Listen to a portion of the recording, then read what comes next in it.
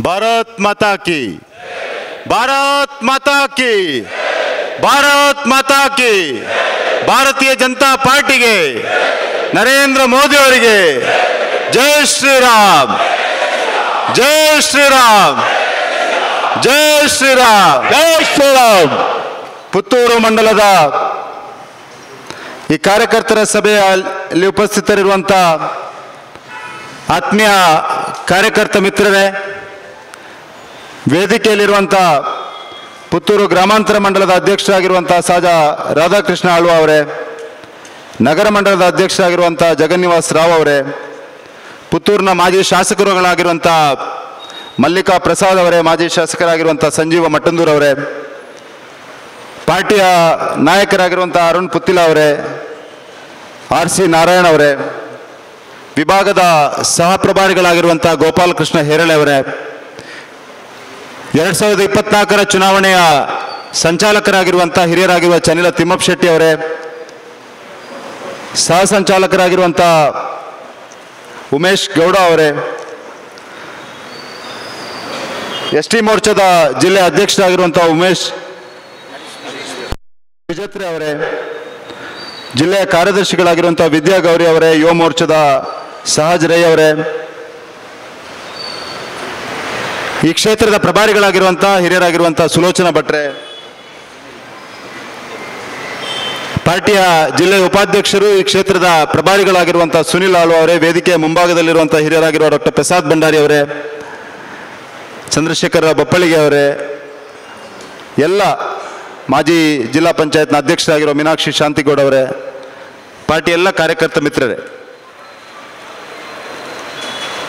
ಒಬ್ಬ ಕಾರ್ಯಕರ್ತನಿಗೆ ಅತ್ಯಂತ ಹೆಮ್ಮೆಯ ಸಂಭ್ರಮದ ಮತ್ತು ಸಂತೋಷದ ಕ್ಷಣ ಇದು.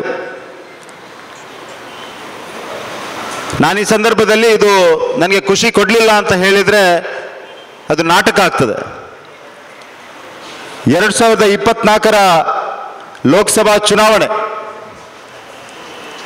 ಭಾರತೀಯ ಜನತಾ ಪಾರ್ಟಿಯ ಕಾರ್ಯಕರ್ತನಿಗೆ ಒಂದು ವಿಶೇಷವಾದ ಚುನಾವಣೆ. ಇಂಥ ವಿಶೇಷವಾದ ಕಾಲಘಟ್ಟದಲ್ಲಿ ಇಡೀ ಜನಮಾನಸ ನರೇಂದ್ರ ಮೋದಿ ಒಪ್ಪಿಕೊಂಡಿರುವಂತಹ ಈ ಸಂದರ್ಭದಲ್ಲಿ ನರೇಂದ್ರ ಮೋದಿಯವರನ್ನು ಮತ್ತೊಮ್ಮೆ ಪ್ರಧಾನಮಂತ್ರಿ ಮಾಡಬೇಕನ್ನುವಂಥದ್ದು ಜನಮಾನಸದ ಸಂಕಲ್ಪ ಅಂತ ಸಂಕಲ್ಪದ ಈ ಒಂದು ವಿಶೇಷವಾದ ಕಾಲಘಟ್ಟದಲ್ಲಿ. ವಿಶ್ವದ ಅತ್ಯಂತ ದೊಡ್ಡ ರಾಜಕೀಯ ಪಾರ್ಟಿ, ಭಾರತೀಯ ಜನತಾ ಪಾರ್ಟಿಯ ಅತ್ಯಂತ ಪ್ರತಿಷ್ಠಿತವಾದಂತಹ ಲೋಕಸಭಾ ಕ್ಷೇತ್ರ, ದಕ್ಷಿಣ ಕನ್ನಡ ಲೋಕಸಭಾ ಕ್ಷೇತ್ರದ ಅಭ್ಯರ್ಥಿಯಾಗಿ ನನಗೆ ಅವಕಾಶ ಸಿಕ್ಕಿರೋದು. ಪಾರ್ಟಿಯ ಹಿರಿಯರು ಈ ಜವಾಬ್ದಾರಿಯನ್ನು ನನ್ನ ಮೇಲೆ ಹೊರಿಸಿರೋದು. ಒಬ್ಬ ಕಾರ್ಯಕರ್ತನಾಗಿ ಅತ್ಯಂತ ಹೆಮ್ಮೆಯ ಕ್ಷಣ ಸಂಭ್ರಮದ ಕ್ಷಣ, ಅತ್ಯಂತ ಖುಷಿಯ ಕ್ಷಣ. ವಿನಮ್ರವಾಗಿ ನಾನು ಸ್ವೀಕಾರವನ್ನು ಆತ್ಮೀಯ ಕಾರ್ಯಕರ್ತ ಮಿತ್ರರೇ,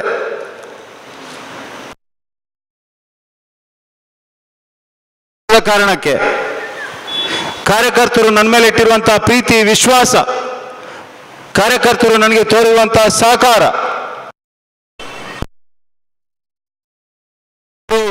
ಮಾಡ್ತಿರುವಂತಹ ಪ್ರಾರ್ಥನೆ ಹಾರೈಕೆ ನಾನಂತೂ ಖಂಡಿತ ಭಾವಿಸ್ತಾ ಇದ್ದೇನೆ. ಈ ಸಂದರ್ಭದಲ್ಲಿ ಮೊತ್ತ ಮೊದಲಿಗೆ ನಾನು ದಕ್ಷಿಣ ಕನ್ನಡ ಜಿಲ್ಲೆಯ ಭಾರತೀಯ ಜನತಾ ಪಾರ್ಟಿಯ ಎಲ್ಲ ಕಾರ್ಯಕರ್ತನಿಗೆ, ಬೂತ್ ಮಟ್ಟದಿಂದ ಹಿಡಿದು ಜಿಲ್ಲಾ ಮಟ್ಟದವರೆಗಿನ ಎಲ್ಲ ಕಾರ್ಯಕರ್ತರಿಗೆ ವಿಶೇಷವಾಗಿ ನಿಮಗೆ ಸದಾ ನಾನು ಚಿರಋಣಿಯಾಗಿರ್ತೇನೆ ಅಂತ ಈ ಸಂದರ್ಭದಲ್ಲಿ ಮೊತ್ತ ಮೊದಲಿಗೆ ಹೇಳಲಿಕ್ಕೆ ಬಯಸ್ತಾ ಇದ್ದೇನೆ. ಬಂಧುಗಳೇ, ದಕ್ಷಿಣ ಕನ್ನಡ ಜಿಲ್ಲೆಯಲ್ಲಿ ನಾವೊಂದು ವಿಚಾರದ ಆಧಾರದಲ್ಲಿ ಕೆಲಸ ಮಾಡ್ತಿರುವಂಥವ್ರು. ಭಾರತೀಯ ಜನತಾ ಪಾರ್ಟಿ ಆ ವಿಚಾರದ ರಾಜಕೀಯ ಕ್ಷೇತ್ರದಲ್ಲಿ ಕೆಲಸ ಮಾಡ್ತಿರುವಂಥ ಒಂದು ಸಂಘಟನೆ. ದಕ್ಷಿಣ ಕನ್ನಡ ಜಿಲ್ಲೆಯಲ್ಲಿ ನಮ್ಮ ವಿಚಾರದ ಆಧಾರದಲ್ಲಿ ಹಿಂದುತ್ವಕ್ಕೋಸ್ಕರ ಕೆಲಸ ಮಾಡ್ತಿರುವಂಥ ಸಂಘ ಪರಿವಾರದ ಎಲ್ಲ ಸಂಘಟನೆಯ ಕಾರ್ಯಕರ್ತರಿಗೂ ನಾನು ಈ ಸಂದರ್ಭದಲ್ಲಿ ಚಿರಋಣಿಯಾಗಿರ್ತೇನೆ. ನಿಮ್ಮ ಒಂದಷ್ಟು ಪ್ರಾಮಾಣಿಕವಾದ ಕೆಲಸ ಮಾಡ್ತೇನೆ ಅಂತ ಈ ಸಂದರ್ಭದಲ್ಲಿ ಮೊತ್ತ ಮೊದಲಿಗೆ ಭರವಸೆಯನ್ನು ಕೊಡಲಿಕ್ಕೆ ಬಯಸ್ತಾ ಇದ್ದೇನೆ. ಈ ಸಂದರ್ಭದಲ್ಲಿ ನನ್ನ ಪಾರ್ಟಿಯ ನಾಯಕರಾದಂಥ ಜನರ ಪ್ರೀತಿಯ ನಾಯಕ, ಕಾರ್ಯಕರ್ತರ ಪ್ರೀತಿಯ ನಾಯಕ, ಇಡೀ ವಿಶ್ವ ಒಪ್ಪಿಕೊಂಡಿರುವ ನಾಯಕರಾಗಿರುವಂಥ ಸನ್ಮಾನ ಪ್ರಧಾನಮಂತ್ರಿ ನರೇಂದ್ರ ಮೋದಿ ಅವರಿಗೆ, ಈ ದೇಶದ ಗೃಹ ಸಚಿವರಾಗಿರುವಂತಹ ಅಮಿತ್ ಶಾ ಅವರಿಗೆ, ನಮ್ಮ ರಾಷ್ಟ್ರೀಯ ಅಧ್ಯಕ್ಷರಾಗಿರುವಂತಹ ಜಗತ್ ಪ್ರಕಾಶ್ ನಡ್ಡಾ ಅವರಿಗೆ, ಈ ರಾಜ್ಯದ ಮೇರು ನಾಯಕ, ಈ ರಾಜ್ಯದ ಜನರು ಒಪ್ಪಿಕೊಂಡಿರುವಂತಹ ನಾಯಕ, ನಮ್ಮೆಲ್ಲರ ಮಾರ್ಗದರ್ಶಕರು ಈ ರಾಜ್ಯದ ಮಾಜಿ ಮುಖ್ಯಮಂತ್ರಿಗಳಾಗಿರುವಂತಹ ಸನ್ಮಾನ್ಯ ಬಿ ಎಸ್ ಯಡಿಯೂರಪ್ಪನವರಿಗೆ ಈ ರಾಜ್ಯದ ಅಧ್ಯಕ್ಷರಾಗಿರುವಂಥ ಶ್ರೀ ಬಿ ವೈ ವಿಜಯೇಂದ್ರ ಅವರಿಗೆ, ನಮ್ಮ ರಾಷ್ಟ್ರೀಯ ಸಂಘಟನಾ ಪ್ರಧಾನ ಕಾರ್ಯದರ್ಶಿಗಳಾಗಿರುವಂಥ ಶ್ರೀ ಬಿ ಎಲ್ ಸಂತೋಷ್ ಅವರಿಗೆ, ನಮ್ಮ ರಾಜ್ಯದ ಸಂಘಟನಾ ಕಾರ್ಯದರ್ಶಿಗಳಿಗೆ, ನಮ್ಮ ಜಿಲ್ಲೆಯ ಅಧ್ಯಕ್ಷರಾಗಿರುವಂಥ ಸತೀಶ್ ಕುಂಪಲ ಅವರಿಗೆ, ನಮ್ಮೆಲ್ಲರ ನಾಯಕರು, ನಮ್ಮ ಸಂಸದರಾಗಿರುವಂಥ ನಳಿನ್ ಕುಮಾರ್ ಕಟೀಲ್ ಅವರಿಗೆ, ಈ ಜಿಲ್ಲೆಯ ಶಾಸಕರುಗಳಿಗೆ, ಈ ಜಿಲ್ಲೆಯ ಎಲ್ಲ ಹಂತದ ಜನಪ್ರತಿನಿಧಿಗಳಿಗೆ ಈ ಜಿಲ್ಲೆಯಲ್ಲಿ ಪಾರ್ಟಿಯನ್ನು ಸಂಘಟನಾತ್ಮಕವಾಗಿ ಗಟ್ಟಿಗೊಳಿಸ್ತಾ ಇರುವಂಥ ಮಂಡಲ ಅಧ್ಯಕ್ಷರುಗಳಿಗೆ, ಮಂಡಲದ ಪದಾಧಿಕಾರಿಗಳಿಗೆ, ಜಿಲ್ಲೆಯ ಪದಾಧಿಕಾರಿಗಳಿಗೆ ಬೂತ್ ಅಭ್ಯರ್ಥ ನಿರಂತರವಾಗಿ ಪ್ರತಿಯೊಂದು ಸಂದರ್ಭದಲ್ಲೂ ಈ ಜಿಲ್ಲೆಯಲ್ಲಿ ತೋರಿಸಿಕೊಟ್ಟಿದ್ದಾರೆ. ಅಂತ ಕಾರ್ಯಕರ್ತನಿಗೆ ನಾನು ಸದಾ ಚಿರಋಣಿಯಾಗಿರ್ತೇನೆ ಅಂತ ಮತ್ತೊಮ್ಮೆ ಮತ್ತೊಮ್ಮೆ ಹೇಳಲಿಕ್ಕೆ ಬಯಸ್ತಾ ಇದ್ದೇನೆ. ಬಂಧುಗಳೇ, ನನಗೆ ಅಭ್ಯರ್ಥಿತನ ಘೋಷಣೆ ಆದ ನಂತರ ಪ್ರತಿ ದಿವಸ ಬರ್ತಾ ಇರುವಂತಹ ಫೋನ್ ಕಾಲ್ಗಳು ಬರ್ತಾ ಇರುವಂತಹ ಶುಭಾಶಯದ ಕರೆಗಳು ಶುಭಾಶಯದ ಮೆಸೇಜ್ಗಳು, ನನ್ನ ಜವಾಬ್ದಾರಿಯನ್ನು ನೆನಪಿಸುವ ನೆನಪಿಸುವಂಥ ಹಿರಿಯರ ಕರೆಗಳು, ನಾನು ಹೋದಲ್ಲಿ ಬಂದಲ್ಲಿ ಹಾಕ್ತಾ ಇರುವಂಥ ಶಾಲುಗಳು, ಮಾಲೆಗಳು ತೋರಿಸ್ತಾ ಇರುವಂಥ ಜನರ ಪ್ರೀತಿ, ಇದು ಯಾವುದು ನನಗಲ್ಲ ಅನ್ನುವಂಥ ಸ್ಪಷ್ಟವಾದ ಅರಿವು ನನಗಿದೆ. ಇದು ನನ್ನ ಸಂಘಟನೆಯ ಮೇಲೆ ತೋರಿಸ್ತಾ ಇರುವಂಥ ಪ್ರೀತಿ, ನಮ್ಮ ಕಾರ್ಯಕರ್ತರ ಮೇಲೆ ತೋರಿಸ್ತಾ ಇರುವಂಥ ಪ್ರೀತಿ, ನಮ್ಮ ವಿಚಾರಕ್ಕೆ ಜನ ಕೊಟ್ಟಿರುವಂಥ ಮನ್ನಣೆ, ನಮ್ಮ ಹೆಮ್ಮೆಯ ನಾಯಕ ನರೇಂದ್ರ ಮೋದಿ ಮೇಲೆ ತೋರಿಸ್ತಾ ಇರುವಂಥ ಪ್ರೀತಿ ಅನ್ನುವಂಥ ಸ್ಪಷ್ಟವಾದ ಅರಿವು ನನಗಿರ್ತದೆ ಮತ್ತು ಸದಾ ನನ್ನ ನನ್ನಲ್ಲಿ ಇರ್ತದೆ ಅನ್ನುವಂಥ ಒಂದು ಜವಾಬ್ದಾರಿಯುತ ಮಾತನ್ನ ಈ ಸಂದರ್ಭದಲ್ಲಿ ಹೇಳಲಿಕ್ಕೆ ಬಯಸ್ತಾ ಇದ್ದೇನೆ. ನಮ್ಮ ಪಾರ್ಟಿಯನ್ನು ಇವತ್ತು ಜನ ಒಪ್ಪಿದ್ದಾರೆ. ನಮ್ಮ ಪಾರ್ಟಿಯನ್ನು ಸಮಾಜದ ಎಲ್ಲ ವರ್ಗದ ಜನರು ಇವತ್ತು ಒಪ್ಪಿಕೊಂಡಿದ್ದಾರೆ. ಮಹಿಳೆಯರು ಒಪ್ಪಿಕೊಂಡಿದ್ದಾರೆ, ಯುವಕರು ಒಪ್ಪಿಕೊಂಡಿದ್ದಾರೆ, ಬಡವರು ಒಪ್ಪಿಕೊಂಡು ರೈತರು ಒಪ್ಪಿಕೊಂಡಿದ್ದಾರೆ. ಸರ್ವಸ್ಪರ್ಶಿಯಾದಂತಹ ಜನತಾ ಪಾರ್ಟಿಯ ಅಭ್ಯರ್ಥಿಯಾಗಿ ದಕ್ಷಿಣ ಕನ್ನಡದಂತಹ ಒಂದು ಪ್ರತಿಷ್ಠಿತ ಲೋಕಸಭಾ ಕ್ಷೇತ್ರದಲ್ಲಿ ಈ ಅವಕಾಶ ನಮ್ಮ ಸಂಘಟನೆಯನ್ನ ಪ್ರತಿನಿಧಿಸಲಿಕ್ಕೆ, ನಮ್ಮ ಜಿಲ್ಲೆಯನ್ನ ಪ್ರತಿನಿಧಿಸಲಿಕ್ಕೆ ಸಿಗ್ತಾ ಇರುವಂತಹ ಅವಕಾಶ. ಪುಣ್ಯ ತುಳು ದೇವರ ಆಶೀರ್ವಾದ ಕಾರ್ಯಕರ್ತರ ಪ್ರೀತಿ ವಿಶ್ವಾಸದಿಂದಲೇ ಸಾಧ್ಯ ಅನ್ನುವಂಥದ್ದನ್ನ ನಾನು ಈ ಸಂದರ್ಭದಲ್ಲಿ ಮತ್ತೊಮ್ಮೆ ಮತ್ತೊಮ್ಮೆ ನೆನಪಿಸ್ತಾ ಇದ್ದೇನೆ ನನಗೆ ಸ್ಪಷ್ಟವಾಗಿದೆ ಅನ್ನುವಂಥ ಅತ್ಯಂತ ವಿನಯ. ನಾವೆಲ್ಲ ಒಂದು ಘಟ್ಟದಲ್ಲಿ ಇದ್ದೇವೆ ಚುನಾವಣೆ ಒಂದು ನಿರ್ಣಾಯಕವಾದ ಈ ಚುನಾವಣೆ ಭವಿಷ್ಯವನ್ನು ನಿರ್ಮಾಣ ಮಾಡುವಂತಹ ಚುನಾವಣೆ. ಈ ಚುನಾವಣೆ ಹಿಂದೂ ಜಾಗೃತಿಯನ್ನು ಮಾಡುವಂತಹ ಚುನಾವಣೆ. ಹಿಂದುತ್ವವನ್ನು ಈ ದೇಶದಲ್ಲಿ ಪ್ರತಿಷ್ಠಾಪನೆ ಮಾಡಲಿಕ್ಕಿರುವಂತಹ ಚುನಾವಣೆ. ಈ ಚುನಾವಣೆ ಜೀವನ ಪದ್ಧತಿಗೆ ಇಡೀ ವಿಶ್ವದಲ್ಲಿ ಗೌರವ ಕೊಡ್ಲಿಕ್ಕಿರುವಂತಹ ಚುನಾವಣೆ. ಈ ಚುನಾವಣೆ ದೇಶಭಕ್ತರ ಮತ್ತು ದೇಶ ವಿರೋಧಿಗಳ ಮಧ್ಯೆ ನಡೆಯುತ್ತಿರುವಂತಹ ಚುನಾವಣೆ. ಈ ದುಷ್ ಈ ಚುನಾವಣೆ ಈ ರಾಷ್ಟ್ರವನ್ನ ಅಖಂಡವಾಗಿ ಸಮೃದ್ಧವಾಗಿ ಈ ರಾಷ್ಟ್ರ ಇಡೀ ವಿಶ್ವದಲ್ಲಿ ಪರಮ ವೈಭವದ ಸ್ಥಿತಿಗೆ ಹೋಗಬೇಕು ಅನ್ನುವಂಥ ಯೋಚನೆ ಮಾಡ್ತಿರುವಂಥ ವ್ಯಕ್ತಿಗಳ ಮಧ್ಯೆ. ಮತ್ತು ಈ ದೇಶವನ್ನು ಯಾವುದಾದ್ರೂ ರೀತಿಯ ರೀತಿಯಲ್ಲಿ ಆಡಳಿತ ಮಾಡೋಣ, ಈ ದೇಶವನ್ನು ತುಂಡು ಮಾಡಿ ಆದರೂ ಸರಿ, ಈ ದೇಶವನ್ನು ಎರಡು ಮಾಡಿ ಆದರೂ ಸರಿ, ಈ ದೇಶವನ್ನು ಹತ್ತು ತುಂಡು ಮಾಡಿ ಆದರೂ ಸರಿ ಅನ್ನುವಂಥ ಮಾನಸಿಕತೆ ಅವರ ಮಧ್ಯೆ ನಡೆಯುತ್ತಿರುವಂಥ ಚುನಾವಣೆ. ಇದು ಅತ್ಯಂತ ಸ್ಪಷ್ಟವಾಗಿ ನಮ್ಮ ಕಾರ್ಯಕರ್ತರಿಗೆ ಗೊತ್ತಿರಬೇಕು. ಈ ಚುನಾವಣೆ ಸಾಧಾರಣವಾದ ಚುನಾವಣೆ ಅಲ್ಲ. ಈ ಚುನಾವಣೆ ಯಾರನ್ನೋ ಒಬ್ಬನನ್ನ ಎಂ ಪಿ ಮಾಡಲಿಕ್ಕಿರುವಂಥ ಚುನಾವಣೆ, ಯಾರನ್ನೋ ಯಾವುದೋ ಒಂದು ಸರ್ಕಾರ ತರಲಿಕ್ಕಿರುವಂಥ ಮಧ್ಯೆ ನಡೆಯುವಂಥ ಚುನಾವಣೆ ಅಲ್ಲ. ಈ ಚುನಾವಣೆ ರಾಷ್ಟ್ರೀಯತೆಯ ಆಧಾರದಲ್ಲಿ ಬದುಕಬೇಕಾ? ಹಿಂದುತ್ವದ ಆಧಾರದಲ್ಲಿ ಬದುಕಬೇಕಾ? ಅಥವಾ ನಮ್ಮ ಸ್ವಾರ್ಥಕ್ಕೋಸ್ಕರ, ಕುಟುಂಬಕ್ಕೋಸ್ಕರ, ನಮ್ಮ ಕುಟುಂಬದ ಸ್ವಾರ್ಥಕ್ಕೋಸ್ಕರ ಅಥವಾ ಅಧಿಕಾರ ಬರಲಿಕ್ಕೆ ಏನಾದರೂ ಮಾಡಿ ಯಾವುದೇ ಗ್ಯಾರಂಟಿಯನ್ನಾದರೂ ಕೊಟ್ಟು ಚುನಾವಣೆ ಮಾಡುವುದಾ ಅನ್ನುವಂಥ ಮಧ್ಯೆ ಇರುವಂಥ ಒಂದು ಪ್ರಶ್ನೆಯ ಚುನಾವಣೆ. ಅಂತ ಒಂದು ನಿರ್ಣಾಯಕವಾದ ಚುನಾವಣೆ ಇದು. ಬಂಧುಗಳೇ, ನರೇಂದ್ರ ಮೋದಿ ಅವರು ಹತ್ತು ವರ್ಷ ಈ ದೇಶದ ಆಡಳಿತವನ್ನು ಮಾಡಿದ ಸಂದರ್ಭದಲ್ಲಿ. ಈ ದೇಶದಲ್ಲಿ ಕೆಲವೊಂದು ವಿಷಯಗಳು ಸರಿಯೇ ಆಗುವುದಿಲ್ಲ ಅನ್ನುವಂಥ ಒಂದು ಭ್ರಮೆಯಲ್ಲಿ ಅಥವಾ ಸರಿಯೇ ಆಗುವುದಿಲ್ಲ ಅನ್ನುವಂಥ ಯೋಚನೆಯಲ್ಲಿ ಇದ್ದಂಥ ವ್ಯಕ್ತಿಗಳ ಮನಸ್ಸನ್ನು ಕೂಡ ಬದಲಾಯಿಸಿದ್ದಾರೆ. ಯಾರ ಕಡೆಗೆ ಸರ್ಕಾರ ಹೋಗುವುದೇ ಇಲ್ಲ ಅಂತ ಯೋಚನೆ ಮಾಡಿದ್ವಿ ನಾವು. ಅಂಥವರಿಗೂ ಸರ್ಕಾರವನ್ನು ತಲುಪಿಸುವಂಥ ವ್ಯವಸ್ಥೆಯನ್ನು ಮಾಡಿದ್ದಾರೆ. ಸರ್ಕಾರದ ವ್ಯವಸ್ಥೆಯನ್ನ, ಸರ್ಕಾರದ ಯೋಜನೆಗಳನ್ನ ನೇರವಾಗಿ ಜನರಿಗೆ ತಲುಪಿಸುವಂತ ಯಾವುದಾದ್ರೂ ಒಂದು ಸರ್ಕಾರ ಇದ್ರೆ ಅದು ಕಳೆದ ಹತ್ತು ವರ್ಷದಲ್ಲಿ ನಮ್ಮ ಹೆಮ್ಮೆಯ ಪ್ರಧಾನಮಂತ್ರಿ ನರೇಂದ್ರ ಮೋದಿ ಅವರ ನೇತೃತ್ವದ ಸರ್ಕಾರ. ನಾವು ವಿಚಾರದಲ್ಲಿ ಯಾವುದೇ ಕಾಂಪ್ರಮೈಸ್ ಅನ್ನು ಮಾಡಲಿಲ್ಲ. ಭಾರತೀಯ ಜನತಾ ಪಾರ್ಟಿ ಪ್ರಾರಂಭವಾಗಿದ್ದರಿಂದ ಇವತ್ತಿನವರೆಗೆ ನಮ್ಮ ವಿಚಾರದಲ್ಲಿ ಯಾವುದೇ ಕಾಂಪ್ರಮೈಸ್ ಅನ್ನು ಮಾಡದೆ ಇವತ್ತಿನವರೆಗೆ ಆ ವಿಚಾರಕ್ಕೆ ಬದ್ಧರಾಗಿದ್ದುಕೊಂಡು ಜನ, ಜನಮಾನಸದ ಅಭ್ಯುದಯಕ್ಕಾಗಿ ಕೆಲಸ ಮಾಡಿದಂತಹ ಸರ್ಕಾರ ಯಾವುದಾದ್ರೂ ಇದ್ರೆ ಅದು ಸನ್ಮಾನ್ಯ ನರೇಂದ್ರ ಮೋದಿ ಅವರ ಸರ್ಕಾರ. ಭಾರತೀಯ ಜನತಾ ಪಾರ್ಟಿಯ ಸರ್ಕಾರ ಈ ಮಣ್ಣಿಗೆ ಗೌರವ ಕೊಟ್ಟಂತ ಸರ್ಕಾರ.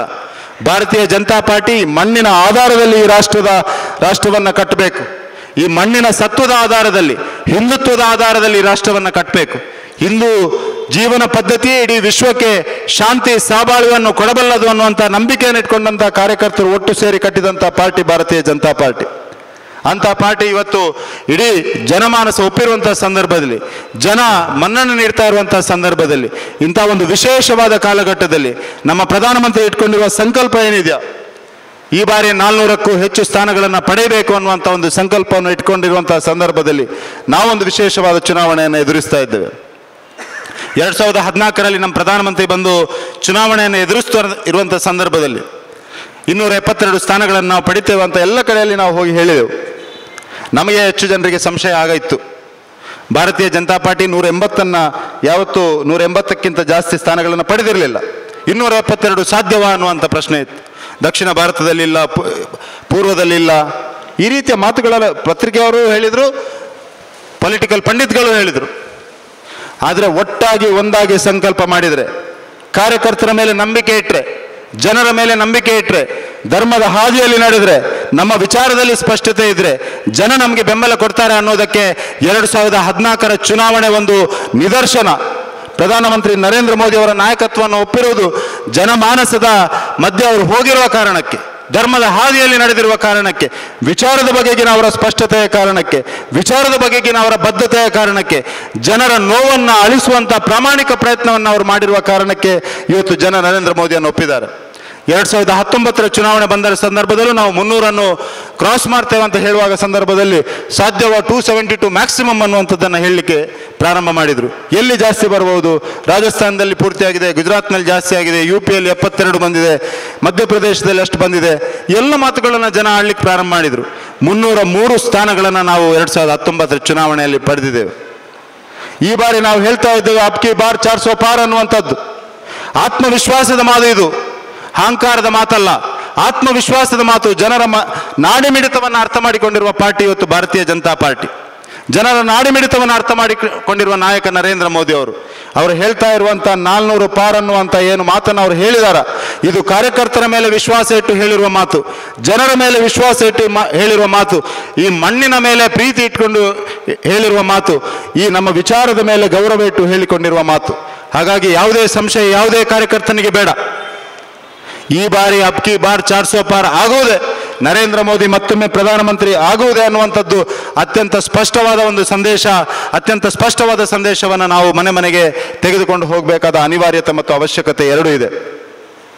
ಬಂಧುಗಳೇ, ಕಳೆದ ಹತ್ತು ವರ್ಷದಲ್ಲಿ ನರೇಂದ್ರ ಮೋದಿ ಅವರು ಮಾಡಿರುವ ಸಾಧನೆಗಳನ್ನು ನಾವು ಮಾತನಾಡಲಿಕ್ಕೆ ಹೋದರೆ ಗಂಟೆ ಗಟ್ಟಲೆ ಬೇಕದು ಗಂಟೆ ಗಟ್ಟಲೆ ಬೇಕು ಒಂದು ಕಾಲದಲ್ಲಿ ಸಹಜವಾಗಿ ಆಗ್ತಾ ಇದ್ದಂಥ ಚಟುವಟಿಕೆ ಯಾವ ಸಬ್ಸಿಡಿಗಳು ಜನರಿಗೆ ಒಂದು ರೂಪಾಯಿಯಲ್ಲಿಂದ ಕಳಿಸಿದರೆ ಎಂಬತ್ತೈದು ಪೈಸೆ ಮಧ್ಯದಲ್ಲಿ ಪೋಲಾಗಿ ಹದಿನೈದು ಪೈಸೆ ನಿನಗೆ ತಲುಪ್ತದೆ ಅನ್ನುವಂಥ ಮಾತನ್ನು ಆ ಸಂದರ್ಭದ ಪ್ರಧಾನಮಂತ್ರಿ ಹೇಳಿದ್ದ ಮಾತು. ಇವತ್ತು ನೇರವಾಗಿ ಜನರ ಅಕೌಂಟ್ಗಳಿಗೆ ಸಬ್ಸಿಡಿಗಳು ತಲುಪ್ತಾ ಇದೆ. ಪ್ರತಿಯೊಂದು ಯೋಜನೆಯ ಹಣ ಜನರಿಗೆ ತಲುಪ್ತಾ ಇದೆ. ಲಾಭಾರ್ಥಿಗಳು ಯಾರಿದ್ದಾರೆ ಎಷ್ಟೋ ನಮ್ಮ ಕಾರ್ಯಕರ್ತರಿಗೆ ಸರ್ಕಾರದ ಬೆನಿಫಿಷರೀಸ್ ಯಾರಂತ ಗೊತ್ತಿರದೇನುವಂಥ ಪರಿಸ್ಥಿತಿ ಇದೆ. ಪ್ರತಿಯೊಂದು ಜನರನ್ನು ನಾವು ತಲುಪ್ತಾ ಇದ್ದೇವೆ. ನಾವು ಯಾವುದೇ ಭೇದವನ್ನು ಮಾಡ್ತಾ ಇದ್ದಿಲ್ಲ. ಸಬ್ಕಾ ಸಾಥ್, ಸಬ್ಕಾ ವಿಶ್ವಾಸ ಅಂತ ಏನು ಪ್ರಧಾನಮಂತ್ರಿ ಹೇಳ್ತಾ ಇದ್ದಾರೆ. ಆ ಮಾತಿಗೆ ಅಕ್ಷರಶಃ ನಿಜವಾಗಿ ನಮ್ಮ ಯೋಜನೆಗಳನ್ನು ಪ್ರಧಾನಮಂತ್ರಿಗಳು ರೂಪಿಸಿದ್ದಾರೆ ಮತ್ತು ಅದರ ಅನುಷ್ಠಾನವನ್ನು ಅತ್ಯಂತ ವ್ಯವಸ್ಥಿತ ರೀತಿಯಲ್ಲಿ ಮಾಡಿದ್ದಾರೆ. ಹಾಗಾಗಿ ಬಂಧುಗಳೇ, ನಾವು ಮನೆ ಮನೆಗೆ ಹೋಗಬೇಕಾದಂಥ ಅವಶ್ಯಕತೆ ಇದೆ. ಪ್ರತಿ ಮನೆಯನ್ನು ತಲುಪಬೇಕಾದ ಅವಶ್ಯಕತೆ ಇದೆ. ಪ್ರತಿ ಮತದಾರರನ್ನು ತಲುಪಬೇಕಾದ ಅವಶ್ಯಕತೆ ಇದೆ. ಪ್ರಧಾನಮಂತ್ರಿ ನರೇಂದ್ರ ಮೋದಿ ಅವರ ಸಂದೇಶವನ್ನು ತಲುಪಿಸಬೇಕಾದ ಅವಶ್ಯಕತೆ ಇದೆ. ಅವರ ಯೋಜನೆಯ ಬಗ್ಗೆ ಜನರ ಜೊತೆ ಮಾತುಕತೆ ಮಾಡುವಂಥ ಅವಶ್ಯಕತೆ ಇದೆ. ಆ ಪ್ರಧಾನಮಂತ್ರಿ ನರೇಂದ್ರ ಮೋದಿ ಅವರ ಮೇಲೆ ಏನು ಜನಮನ್ನಣೆ ಇದೆಯಾ? ಜನಾಭಿಪ್ರಾಯ ಇದೆಯಾ?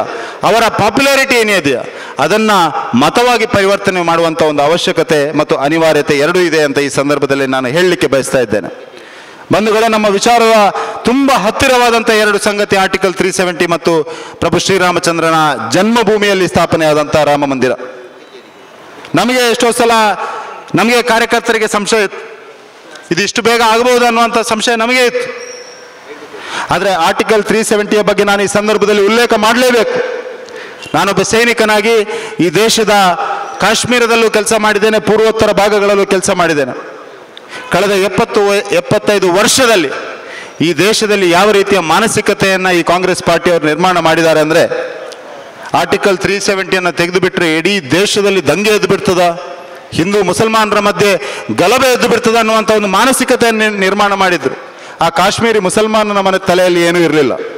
ನಾನು ಅವರೊಟ್ಟಿಗೆ ಸಂವಾದಗಳನ್ನು ಮಾಡಿದ್ದೇನೆ, ಮಾತುಕತೆಯನ್ನು ಮಾಡಿದ್ದೇನೆ, ಆರ್ಟಿಕಲ್ ತ್ರೀ ಸೆವೆಂಟಿ ತೆಗೆಯುವ ಮೊದಲು ಮಾಡಿದ್ದೇನೆ, ಈಗಲೂ ಮಾಡಿದ್ದೇನೆ. ಹಾಗಾಗಿ ಅವರ ಮನೆ ತಲೆಯಲ್ಲಿ ಯಾವುದೇ ಸಂಶಯ ಇರಲಿಲ್ಲ. ಜನರ ಸಮಸ್ಯೆ, ತಲೆಯಲ್ಲಿ ಸಂಶಯ ಇರಲಿಲ್ಲ. ಅಡಿ ಇಡೀ ರಾಷ್ಟ್ರದಲ್ಲಿ ಒಂದು ಆ ರೀತಿಯ ಮಾನಸಿಕತೆ ಒಂದಷ್ಟು ವ್ಯಕ್ತಿಗಳನ್ನು ನಿರ್ಮಾಣ ಮಾಡಿ. ಆರ್ಟಿಕಲ್ ತ್ರೀ ಸೆವೆಂಟಿ ಅನ್ನುವಂಥದ್ದು ಏನೋ ಒಂದು ಭಾರಿ ದೊಡ್ಡ ಭೂತ ಅನ್ನುವ ರೀತಿಯಲ್ಲಿ ನಿರ್ಮಾಣ ಮಾಡಿದ್ದು ಆದರೆ ನಮ್ಮ ಸರ್ಕಾರ ವಿಚಾರಕ್ಕೆ ಬದ್ಧವಾಗಿತ್ತು. ಯಾವುದೇ ಹೆದರಿಕೆಯನ್ನು ಮಾಡಲಿಲ್ಲ.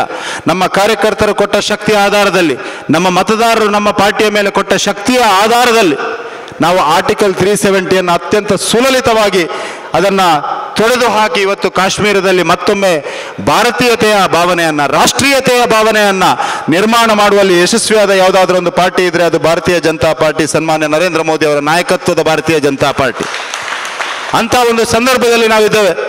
ಪ್ರಭು ಶ್ರೀರಾಮಚಂದ್ರನ ಮಂದಿರ, ಇಲ್ಲಿ ತುಂಬ ಜನರು ಆ ಹೋರಾಟದಲ್ಲಿ ಹೋದವರು ಇರಬಹುದು ಕರಸೇವೆಯನ್ನು ಮಾಡಿರುವವರು ಇರಬಹುದು ಅಯೋಧ್ಯೆಗೆ ಹೋದವರು ಇರಬಹುದು ಆ ಕಟ್ಟಡ ಕೆಳಗೆ ಬೀಳುವಾಗ ಅದನ್ನು ನೋಡಿ ಅದನ್ನು ಶಾಕ್, ಸಂತೋಷಪಟ್ಟವರು ಇರಬಹುದು ತುಂಬ ಜನರು ಅವರು ಕೂಡ ಯೋಚನೆ ಮಾಡಿರ್ಬೋದು ಇಷ್ಟು ಬೇಗ ಪ್ರಭು ಶ್ರೀರಾಮಚಂದ್ರನ ಪ್ರತಿಷ್ಠೆಯಲ್ಲಿ ಆಗ್ತದೆ ಅನ್ನುವಂಥ ಯೋಚನೆ ಅವರು ಕೂಡ ಮಾಡಿರ್ಬೋದು. ಆದರೆ ನಮ್ಮ ಜೀವಮಾನದಲ್ಲಿ ಇದನ್ನು ನೋಡಲಿಕ್ಕೆ ಅವಕಾಶ ಸಿಕ್ಕಿತ್ತು. ಪ್ರಧಾನಮಂತ್ರಿ ನರೇಂದ್ರ ಮೋದಿ ಅವರ ದಿಟ್ಟ ನಾಯಕತ್ವ ಪ್ರಧಾನಮಂತ್ರಿಯವರು ಯಾವ ಕನಸನ್ನು ಇಟ್ಕೊಳ್ತಾರ, ಯಾವ ಯೋಚನೆ ಇಟ್ಕೊಳ್ತಾರ, ಆ ಯೋಚನೆಯ ಅನುಷ್ಠಾನಕ್ಕಾಗಿ ಹಗಲಿರುಳು ಶ್ರಮಿಸುವ ಕಾರಣಕ್ಕೆ ಪ್ರಭು ಶ್ರೀರಾಮಚಂದ್ರನ ಆ ಪ್ರಾಣ ಪ್ರತಿಷ್ಠೆ ಅವನ ಜನ್ಮಭೂಮಿಯಲ್ಲಿ ಇವತ್ತಾಗಿದೆ ಅಂತ ಹೇಳಿದರೆ ಇದಕ್ಕಿಂತ ದೊಡ್ಡ ಸೌಭಾಗ್ಯ ನಮಗೇನು ಬೇಕು? ಒಬ್ಬ ಭಾರತೀಯ ಜನತಾ ಪಾರ್ಟಿಯ ಕಾರ್ಯಕರ್ತನಾಗಿ. ಇದು ಹಿಂದುವಿನ ಒಂದು ಸ್ವಾಭಿಮಾನದ ಜಾಗೃತಿ ಇದು. ಪ್ರಭು ಶ್ರೀರಾಮಚಂದ್ರನ ಮಂದಿರ ಏನಿದೆಯಾ? ಇದು ಪ್ರತಿಯೋರ್ವ ಹಿಂದುವಿನ ಸ್ವಾಭಿಮಾನದ ಜಾಗೃತಿ. ಹಿಂದುತ್ವದ ಪ್ರತಿಷ್ಠಾಪನೆ ಈ ರಾಷ್ಟ್ರದಲ್ಲಿ. ಈ ದೇಶ ಅಮೃತ ಕಾಲದ ಕಡೆಗೆ ಹೋಗ್ತಾ ಇರುವಂಥ ಈ ಒಂದು ವಿಶೇಷವಾದ ಕಾಲಘಟ್ಟದಲ್ಲಿ. ನಮ್ಮ ಪ್ರಧಾನಮಂತ್ರಿ ಯಾವತ್ತೂ ಹೇಳ್ತಾರೆ, ಮುಂದಿನ ಇಪ್ಪತ್ತೈದು ವರ್ಷಗಳ ಕಾಲ ಅದು ಭಾರತದ ಅಮೃತ ಕಾಲ ಅಂತ. ಪ್ರಭು ಶ್ರೀರಾಮಚಂದ್ರನ ಮಂದಿರ ಭಾರತದ ಅಮೃತ ಕಾಲಕ್ಕೆ ಒಂದು ಶುಭ ಮುಹೂರ್ತವನ್ನಿಟ್ಟಂಥ ಒಂದು ಕಾಲಘಟ್ಟ ಅಂತ ನಾನು ಈ ಸಂದರ್ಭದಲ್ಲಿ ಹೇಳಲಿಕ್ಕೆ ಬಯಸ್ತಾ ಇದ್ದೇನೆ. ಆ ಪ್ರಭು ಶ್ರೀರಾಮಚಂದ್ರನ ಪ್ರೇರಣೆಯಿಂದ, ಹಿಂದುತ್ವದ ಜಾಗೃತಿಯಿಂದ ಈ ಹಿಂದುತ್ವದ ಅನುಭೂತಿಯಿಂದ ಮುಂದಿನ ಇಪ್ಪತ್ತೈದು ವರ್ಷಗಳ ಕಾಲ ಅದು ಭಾರತದ ಅಮೃತ ಕಾಲ, ಈ ದೇಶದ ಭವಿಷ್ಯವನ್ನು ನಿರ್ಮಾಣ ಮಾಡುವಂಥ ಕಾಲ, ಹಿಂದೂ ಸಮಾಜವನ್ನು ಈ ಈ ರಾಷ್ಟ್ರದಲ್ಲಿ ಹಿಂದೂ ಜೀವನ ಪದ್ಧತಿಯನ್ನು ಇಡೀ ವಿಶ್ವಕ್ಕೆ ನಾವು ಹೆಮ್ಮೆಯಿಂದ ತೋರಿಸುವಂಥ ಕಾಲ, ಕಾಲಘಟ್ಟದಲ್ಲಿ ನಾವಿದ್ದೇವೆ. ಹಾಗಾಗಿ ಎರಡು ಸಾವಿರದ ಇಪ್ಪತ್ನಾಲ್ಕರ ಚುನಾವಣೆ ಅತ್ಯಂತ ನಿರ್ಣಾಯಕವಾದ ಚುನಾವಣೆ. ಯಾಕಂದ್ರೆ ಈ ರಾಷ್ಟ್ರದಲ್ಲಿ ಈ ದೇಶವನ್ನ ಪ್ರೀತಿಸುವವರು, ಹಿಂದೂ ಸಮಾಜವನ್ನು ಪ್ರೀತಿಸುವವರು ಹಿಂದುತ್ವವನ್ನು ನಂಬಿಕೊಂಡಿರುವ ಯಾವುದಾದ್ರೂ ಪಾರ್ಟಿ ಇದ್ರೆ ಅದು ಭಾರತೀಯ ಜನತಾ ಪಾರ್ಟಿ. ಅಂತ ಪಾರ್ಟಿಗೆ, ಪಾರ್ಟಿಯ ಕಾರ್ಯಕರ್ತರಾದ ನಾವು, ಮತದಾರರ ಮಧ್ಯೆ ಹೋಗಿ ಈ ವಿಷಯವನ್ನು ತಿಳಿಸುವಂತ ಅವಶ್ಯಕತೆ ಇದೆ, ಅನಿವಾರ್ಯತೆ ಇದೆ, ಈ ಚುನಾವಣೆಯ ಮಹತ್ವವನ್ನು ತಿಳಿಸುವಂತ ಅವಶ್ಯಕತೆ ಇದೆ. ಅಂತ ಸಂದರ್ಭದಲ್ಲಿ ನನಗೆ ಈ ಅಭ್ಯರ್ಥಿತನ ಸಿಕ್ಕಿರುವುದು ನನ್ನ ಪೂರ್ವಜನ್ಮದ ಪುಣ್ಯ. ಈ ತುಳುನಾಡಿನ ದೈವದೇವರ ಆಶೀರ್ವಾದ, ನನ್ನ ಹೆತ್ತವರು ಮಾಡಿರುವಂಥ ಪುಣ್ಯ ಕಾರ್ಯಕರ್ತರು ನನ್ನ ಮೇಲೆ ತೋರಿರುವಂಥ ಪ್ರೀತಿ, ವಿಶ್ವಾಸ, ಪ್ರಾರ್ಥನೆ, ಹಾರೈಕೆಯ ಕಾರಣ ಅಂತ ನಾನಂತೂ ಖಂಡಿತವಾಗಿ ಭಾವಿಸ್ತಾ ಇದ್ದೇನೆ. ಯಾಕೆಂದರೆ ದಕ್ಷಿಣ ಕನ್ನಡ ಜಿಲ್ಲೆ ಅನ್ನುವಂಥದ್ದು ಒಂದು ಶ್ರೇಷ್ಠವಾದ ಜಿಲ್ಲೆ. ಇದು ತುಳುನಾಡು, ಇದು ದೈವದೇವ ನಾಡು, ಇದು ಸಾಂಸ್ಕೃತಿಕವಾಗಿ ಶ್ರೀಮಂತಿಕೆ ಇರುವಂಥ ಒಂದು ನಾಡು. ತುಂಬಾ ಜನ ಹೇಳ್ತಾರೆ, Kerala is God's own country ಅಂತ. ನಾನು ಯಾವತ್ತೂ ಅವ್ರಿಗೆ ಹೇಳೋದಿದೆ, Kerala is God's own country ಅಂತ ಹೇಳಿರೋದು ಒಬ್ಬ ಐ ಎ ಎಸ್ ಆಫೀಸರ್ ಆದರೆ ತುಳುನಾಡು ದೈವ ದೇವರ ಸಾನ್ನಿಧ್ಯ ಅಂತ ಹೇಳಿರುವಂಥದ್ದು ಪ್ರತಿಯೊಬ್ಬ ವ್ಯಕ್ತಿಯು ಈ ತುಳುನಾಡು ದೈವ ದೇವರ ಸಾನ್ನಿಧ್ಯ ಇದು ದೈವ ದೇವರ ನಾಡು ಇದು, ಹೋದಲ್ಲಿ ಬಂದಲ್ಲಿ ದೈವ ದೇವರ ಆ ಸಾನ್ನಿಧ್ಯ ಇರುವಂಥ ಯಾವುದಾದ್ರೂ ಒಂದು ಭೂಪ್ರದೇಶ ಇದ್ರೆ ಅದು ತುಳುನಾಡು. ಇದನ್ನು ಪರಶುರಾಮ ಸೃಷ್ಟಿ ಅಂತ ಕರಿತೇವೆ ನಾವು. ದೇವ ದೇವರ ನಾಡಂತ ಕರಿತೇವೆ ನಾವು. ಧಾರ್ಮಿಕವಾಗಿ ಅತ್ಯಂತ ಶ್ರದ್ಧೆ ಭಕ್ತಿ, ನಿಷ್ಠೆಯಿಂದ ಬದುಕ್ತಾ ಇರುವಂಥ ಯಾವುದಾದ್ರೂ ಜನಜೀವನ ಇದ್ರೆ ಅದು ಈ ಹೆಮ್ಮೆಯ ತುಳುನಾಡಿನಲ್ಲಿ ಇರೋದು. ಒಂದು ಲಿಪಿ ಇರದ ಭಾಷೆಯಾದಂಥ ತುಳು ಇವತ್ತು ಜನಮಾನಸದಲ್ಲಿ ಪಸರಿಸಿದ್ರೆ ಹೋದಲ್ಲಿ ಬಂದಲ್ಲಿ ತುಳುವಿನ ಬಗ್ಗೆ ಗೌರವದಿಂದ, ಪ್ರೀತಿಯಿಂದ ಬದುಕ್ತಾ ಇದ್ರೆ ಅದು ನಮ್ಮ ಸಾಂಸ್ಕೃತಿಕ ಶ್ರೀಮಂತಿಕೆ ಅದು. ಇವತ್ತು ಲಿಪಿಯನ್ನು ಕೂಡ ನಾವು ವ್ಯವಸ್ಥೆ ಮಾಡ್ತಾ ಇದ್ದೇವೆ. ತುಳು ಭಾಷೆಗೆ ಕೊಡುವಂಥ ಗೌರವವನ್ನು ನಾವು ಕೊಡಲಿಕ್ಕಿದ್ದೇವೆ ಮುಂದಿನ ದಿವಸಗಳಲ್ಲಿ. ಬಂಧುಗಳೇ, ನಾನು ಈ ಸಂದರ್ಭದಲ್ಲಿ ಹೇಳಲಿಕ್ಕೆ ಬಯಸ್ತಾ ಇದ್ದೇನೆ. ನಾನು ಸೈನ್ಯದಲ್ಲಿ ಕೆಲಸ ಮಾಡ್ತಿರುವಂಥ ಸಂದರ್ಭದಲ್ಲಿ ದೇಶದ ಬೇರೆ ಬೇರೆ ಭೂಪ್ರದೇಶವನ್ನು ನೋಡುವಂಥ ಅವಕಾಶ ನನಗೆ ಸಿಕ್ಕಿದೆ. ದೇಶದ ಬೇರೆ ಬೇರೆ ಜನಜೀವನದ ಜೊತೆ ಮಾತುಕತೆ ಮಾಡುವಂಥ ಅವಕಾಶ ನನಗೆ ಸಿಕ್ಕಿದೆ.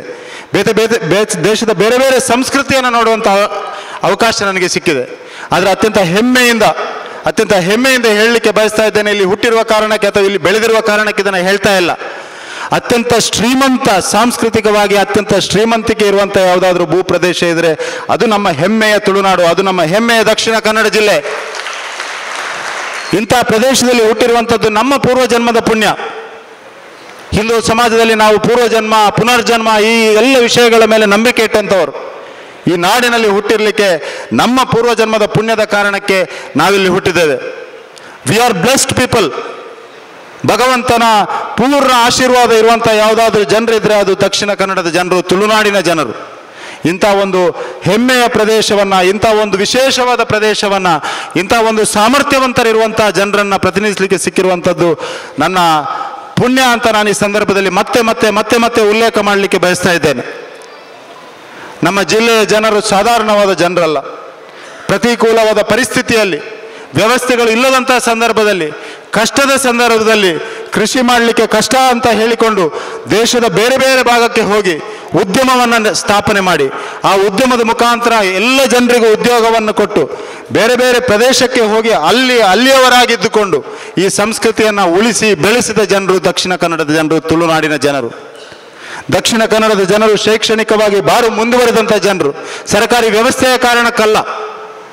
ನಮ್ಮ ಕಾರಣಕ್ಕೆ, ನಮ್ಮ ಸ್ವಾಭಿಮಾನದ ಕಾರಣಕ್ಕೆ, ನಮ್ಮ ಆತ್ಮವಿಶ್ವಾಸದ ಕಾರಣಕ್ಕೆ ನಾವು ದಕ್ಷಿಣ ಕನ್ನಡ ಜಿಲ್ಲೆಯಲ್ಲಿ ಶೈಕ್ಷಣಿಕವಾಗಿ ಬಾರಿ ಮುಂದೆ ಬಂದಂಥವರು. ಉದ್ಯಮ ರಂಗದಲ್ಲಿ ನಾವು ಮಾಡಿರುವ ಸಾಧನೆಗಳೆಷ್ಟು. ಯಾರಿಗೂ ಬ್ಯಾಂಕಿಂಗ್ ಕ್ಷೇತ್ರ ಗೊತ್ತಿಲ್ಲದಿದ್ದಂತಹ ಸಂದರ್ಭದಲ್ಲಿ ಬ್ಯಾಂಕಿಂಗ್ ಕ್ಷೇತ್ರದಲ್ಲಿ ನಾವು ದಾಪುಗಾಲನ್ನಿಟ್ಟು ಐದು ಬ್ಯಾಂಕ್ಗಳನ್ನು ನಿರ್ಮಾಣ ಮಾಡಿ, ಅದನ್ನು ರಾಷ್ಟ್ರದ ಮಟ್ಟದಲ್ಲಿ ಹೆಸರುವಾಸಿ ಮಾಡಿ, ಇಡೀ ರಾಷ್ಟ್ರಕ್ಕೆ ಉದ್ಯೋಗ ಕೊಟ್ಟಂಥ ಜನ ಯಾರಿದ್ರೆ ಅದು ದಕ್ಷಿಣ ಕನ್ನಡ ಜಿಲ್ಲೆಯ ಜನರು. ಅಂಥ ಸಾಮರ್ಥ್ಯವಂತರನ್ನು ಪ್ರತಿನಿಧಿಸುವಂಥ ಅವಕಾಶ ನನ್ನ ಪುಣ್ಯ, ನನ್ನ ಇದೊಂದು ದೊಡ್ಡ ಜವಾಬ್ದಾರಿ ಅಂತ ನಾನಂತೂ ಅತ್ಯಂತ ಸ್ಪಷ್ಟವಾಗಿ ತಿಳಿದುಕೊಂಡಿದ್ದೇನೆ. ಬಂಧುಗಳೇ, ನಾನು ಈ ಸಂದರ್ಭದಲ್ಲಿ ನಿಮಗೆ ಇಷ್ಟು ಮಾತ್ರ ಭರವಸೆಯನ್ನು ಕೊಡಲಿಕ್ಕೆ ಬಯಸ್ತಾ ಇದ್ದೇನೆ. ನನ್ನ ಬದ್ಧತೆ ಸದಾ ಹಿಂದುತ್ವಕ್ಕೆ ಇರ್ತದೆ. ಅಭಿವೃದ್ಧಿಗೆ ನನ್ನ ಆದ್ಯತೆಯನ್ನು ಕೊಟ್ಟುಕೊಂಡು ಹಿಂದುತ್ವದ ಆಧಾರದಲ್ಲಿ ಈ ಜಿಲ್ಲೆಯಲ್ಲಿ ಸಂಘಟನೆ ಮತ್ತು ಅಭಿವೃದ್ಧಿಯನ್ನು ಎರಡನ್ನೂ ಒಂದಾಗಿ ಒಟ್ಟಾಗಿ ಕಾರ್ಯಕರ್ತರ ಪ್ರೀತಿ, ವಿಶ್ವಾಸವನ್ನು ಪಡೆದುಕೊಂಡು, ನಮ್ಮ ಪಾರ್ಟಿಯ ಎಲ್ಲ ನಾಯಕರ ಮಾರ್ಗದರ್ಶನವನ್ನು ಪಡೆದುಕೊಂಡು, ಸಂಘ ಹಿರಿಯರ ಮಾರ್ಗದರ್ಶನವನ್ನು ಪಡೆದುಕೊಂಡು, ನಾವೆಲ್ಲ ಒಂದಾಗಿ ಒಟ್ಟಾಗಿ ಮಾಡ್ತೇವೆ ಅಂತ ಈ ಸಂದರ್ಭದಲ್ಲಿ ನಿಮಗೆ ನಾನು ಭರವಸೆಯನ್ನು ಕೊಡಲಿಕ್ಕೆ ಬಯಸ್ತಾ ಇದ್ದೇನೆ. ಈ ಜಿಲ್ಲೆಯ ಸಾಮರ್ಥ್ಯ ಏನಿದೆಯಾ ಈ ಜಿಲ್ಲೆಯ ಸಾಮರ್ಥ್ಯ ಏನಿದೆ, ಆ ಸಾಮರ್ಥ್ಯಕ್ಕೆ ಸೂಕ್ತವಾದ ವೇದಿಕೆಯನ್ನು ನಿರ್ಮಾಣ ಮಾಡುವಂಥ ವ್ಯವಸ್ಥೆ. ಆ ಸಾಮರ್ಥ್ಯವಂತ ಜನರೇನಿದ್ದಾರೆ ಅವರಿಗೆ ಪೂರಕವಾದ ವ್ಯವಸ್ಥೆಯನ್ನು ನಿರ್ಮಾಣ ಮಾಡುವಂಥ ಒಂದು ಪ್ರಯತ್ನ. ಕಾರ್ಯಕರ್ತರ ಸಹಕಾರದೊಂದಿಗೆ, ನಮ್ಮ ಜನಪ್ರತಿನಿಧಿಗಳ ಸಹಕಾರದೊಂದಿಗೆ, ಈ ಜನರ ಭಾಗಿದಾರಿಕೆಯೊಂದಿಗೆ ಸರ್ಕಾರಿ ವ್ಯವಸ್ಥೆಯನ್ನು ಅದಕ್ಕೆ ಪೂರ್ಣವಾಗಿ ಉಪಯೋಗಿಸಿಕೊಂಡು ನಾನು ಮಾಡುವಂಥ ಪ್ರಾಮಾಣಿಕ ಪ್ರಯತ್ನವನ್ನು ಮಾಡ್ತೇನೆ. ಈ ಜಿಲ್ಲೆಯ ಜನರ ಸಮಸ್ಯೆಯನ್ನು ನಮ್ಮ ಕಾರ್ಯಕರ್ತರ ಸಮಸ್ಯೆಯನ್ನು, ನಮ್ಮ ಕಾರ್ಯಕರ್ತರಿಗೆ ಪ್ರಾಮಾಣಿಕವಾಗಿ ಧ್ವನಿಯಾಗುವಂಥ ಕೆಲಸವನ್ನು ನಾನು ಮಾಡ್ತೇನೆ. ಈ ಜಿಲ್ಲೆಯ ಜನರ ಆಶೋತ್ತರಗಳೇನಿದೆಯಾ ಈ ಜಿಲ್ಲೆಯ ಯುವ ಮನಸ್ಸುಗಳ ಆಶೋತ್ತರಗಳೇನಿದೆಯಾ ಆಕಾಂಕ್ಷೆಗಳೇನಿದೆಯಾ ಈ ಜಿಲ್ಲೆ ಯಾವ ರೀತಿ ಅಭಿವೃದ್ಧಿ ಆಗಬೇಕು ಅನ್ನೋಂಥ ಅವರ ಕನಸುಗಳಿದೆಯಾ ಅದನ್ನು ಅವರ ತಿಳಿದುಕೊಂಡು ಒಟ್ಟಾಗಿ ಅವರಿಂದ ಅಭಿಪ್ರಾಯವನ್ನು ಪಡೆದುಕೊಂಡು ಅದಕ್ಕೆ ಆದ್ಯತೆ ಪೂರ್ವಕವಾಗಿ ಆಗ್ರಹಪೂರ್ವಕವಾಗಿ ಎಲ್ಲೆಲ್ಲ ಹೇಳಬೇಕಾ? ಅಲ್ಲೆಲ್ಲ ಆಗ್ರಹಪೂರ್ವಕವಾಗಿ ನಿಮ್ಮ ಧ್ವನಿಯಾಗಿ ಹೇಳ್ತೇನೆ ಅಂತ ಈ ಸಂದರ್ಭದಲ್ಲಿ ನಿಮಗೆ ಭರವಸೆಯನ್ನು ಕೊಡಲಿಕ್ಕೆ ಬಯಸ್ತಾ ಇದ್ದೇನೆ. ಮತ್ತೆ ನಾನು ಈ ಸಂದರ್ಭದಲ್ಲಿ ಹೆಚ್ಚಿಗೆ ಏನನ್ನು ಮಾತನಾಡದೆ, ನಿಮ್ಮ ಪ್ರೀತಿ, ವಿಶ್ವಾಸ, ನಿಮ್ಮ ಸಹಕಾರ, ನಿಮ್ಮ ಪ್ರಾರ್ಥನೆ, ಹಾರೈಕೆ ನನ್ನ ಮೇಲೆ ಸದಾ ಇರಲಿ ಅಂತ ಈ ಸಂದರ್ಭದಲ್ಲಿ ಪ್ರಾರ್ಥನೆ ಮಾಡ್ತಾ, ನಿಮ್ಮ ಪ್ರೀತಿ, ವಿಶ್ವಾಸಕ್ಕೆ ಒಂದಷ್ಟು ಚ್ಯುತಿ ಬರದ ರೀತಿಯಲ್ಲಿ ಕೆಲಸ ಮಾಡುವಂತೆ ಆ ಭಗವಂತ ನನಗೆ ಶಕ್ತಿ ಕೊಡಲಿ, ಆ ಪುತ್ತೂರಿನ ಮಾಲಿಂಗೇಶ್ವರ ನನಗೆ ಆಶೀರ್ವಾದ ಮಾಡಲಿ ಅಂತ ನಿರಂತರವಾಗಿ ಪ್ರಾರ್ಥನೆ ಮಾಡ್ತಾ, ನಿಮ್ಮ ಪ್ರೀತಿ, ವಿಶ್ವಾಸದ ಆಧಾರದಲ್ಲಿ ಸಂಘಟನೆಯನ್ನು ಮತ್ತು ಈ ಜಿಲ್ಲೆಯ ಅಭಿವೃದ್ಧಿಯನ್ನು ಮಾಡುವಂಥ ಪ್ರಾಮಾಣಿಕ ಪ್ರಯತ್ನವನ್ನು ಮಾಡ್ತೇನೆ ಅಂತ ಮತ್ತೊಮ್ಮೆ ಮತ್ತೊಮ್ಮೆ ಹೇಳ್ತಾ ಕಾರ್ಯಕರ್ತರ ಪ್ರೀತಿ ವಿಶ್ವಾಸವನ್ನು ಯಾಚಿಸ್ತಾ, ನಿಮ್ಮೆಲ್ಲ ಸಹ ನಿಮ್ಮೆಲ್ಲರ ಸಹಕಾರವನ್ನು ಯಾಚಿಸ್ತಾ, ಆ ಯುಗ ಪುರುಷ ನರೇಂದ್ರ ಮೋದಿಯನ್ನು ಮತ್ತೊಮ್ಮೆ ಪ್ರಧಾನಮಂತ್ರಿಯಾಗಿ ಮಾಡುವ ನಮ್ಮೆಲ್ಲರ ಸಂಕಲ್ಪ ಏನಿದೆಯಾ, ನನ್ನ, ನಿಮ್ಮ, ನಿಮ್ಮೆಲ್ಲರ ಜನರ ಸಂಕಲ್ಪ ಏನಿದೆ ಆ ಸಂಕಲ್ಪಕ್ಕೆ ಭಗವಂತ ಶಕ್ತಿ ತುಂಬಲಿ, ಯಾಕೆಂದರೆ ಹಿಂದೂ ಸಮಾಜದ ಒಂದು ನಂಬಿಕೆ ಏನಂದ್ರೆ ಒಟ್ಟಾಗಿ, ಒಂದಾಗಿ ಸಂಕಲ್ಪ ಮಾಡಿದರೆ ಆ ಭಗವಂತನ ಆಶೀರ್ವಾದ ಅದಕ್ಕೆ ಖಂಡಿತವಾಗಿ ಇರ್ತದೆ ಅನ್ನುವಂಥ ನಂಬಿಕೆಯ ಜನರು ನಾವು ಹಾಗಾಗಿ ಒಂದಾಗಿ, ಒಟ್ಟಾಗಿ ಸಂಕಲ್ಪ ಮಾಡೋಣ. ಮತ್ತೊಮ್ಮೆ ಪ್ರಧಾನಮಂತ್ರಿ ನರೇಂದ್ರ ಮೋದಿಯನ್ನ ಈ ರಾಷ್ಟ್ರದ ಪ್ರಧಾನಮಂತ್ರಿ ಮಾಡೋಣ. ಆ ವಿಕಸಿತ ಭಾರತದ ಸಂಕಲ್ಪ ಏನಿದೆ ಪ್ರಧಾನಮಂತ್ರಿ, ಎರಡ್ ಸಾವಿರದ ನಲವತ್ತೇಳಕ್ಕೆ ಭಾರತ ವಿಕಸಿತ ಆಗಬೇಕು, ಇಡೀ ವಿಶ್ವಕ್ಕೆ ದಾರಿದೀಪ ಆಗಬೇಕು, ಇಡೀ ವಿಶ್ವಕ್ಕೆ ಮಾರ್ಗದರ್ಶಿ ಆಗಬೇಕು ಅನ್ನುವಂಥ ವಿಕಸಿತ ಭಾರತದ ಸಂಕಲ್ಪ ಏನಿದೆಯಾ, ಆ ವಿಕಸಿತ ಭಾರತಕ್ಕೆ ಒಂದು ವಿಕಸಿತ ದಕ್ಷಿಣ ಕನ್ನಡವನ್ನು ಒಟ್ಟಾಗಿ, ಒಂದಾಗಿ ನಿರ್ಮಾಣ ಮಾಡೋಣ ಅಂತ ಈ ಸಂದರ್ಭದಲ್ಲಿ ಹೇಳ್ತಾ ನಿಮ್ಮೆಲ್ಲರಿಗೂ ಧನ್ಯವಾದಗಳನ್ನು ಹೇಳ್ತಾ ನಿಮ್ಮ ಪ್ರೀತಿಗೆ ಸದಾ ಚಿರಋಣಿಯಾಗಿರ್ತೇನೆ ಆ ಭಗವಂತನ ಆಶೀರ್ವಾದ ನನ್ನ ಮೇಲೆ ಇರಲಿ ಅಂತ ಈ ಸಂದರ್ಭದಲ್ಲಿ ಪ್ರಾರ್ಥನೆ ಮಾಡ್ತಾ ನನ್ನ ಮಾತನ್ನು ಮುಗಿಸ್ತಾ ಇದ್ದೇನೆ. ಜೈ ಹಿಂದ್. ಕಾರ್ಯಕ್ರಮದ ಹಲೋ ಭಾರತ್ ಮಾತಾ ಕಿ ಜೈ. ಭಾರತ್ ಮಾತಾ ಕಿ ಜೈ. ಜೈ ಶ್ರೀರಾಮ್. ಜೈ ಶ್ರೀರಾಮ್. ಕಾರ್ಯಕ್ರಮದ ಕೊನೆ ಹಂತಕ್ಕೆ ಬರ್ತಾ ಇದ್ದೇವೆ. ಧನ್ಯವಾದ. ಧನ್ಯವಾದ ನಂತರ ರಾಷ್ಟ್ರಗೀತೆ ಇದೆ. ರಾಷ್ಟ್ರಗೀತೆಯ ನಂತರ ಪಾಯ ನಿಖರ ಸುದ್ದಿ ಸದಭಿರುಚಿಯ ಕಾರ್ಯಕ್ರಮ. ನೀವು ನೋಡ್ತಾ ಇದ್ದೀರಾ ಕಹಳೆ ನ್ಯೂಸ್ ಸಮಾಜದ ಜಾಗೃತಿಗಾಗಿ ವಸ್ತುನಿಷ್ಠ ವರದಿ.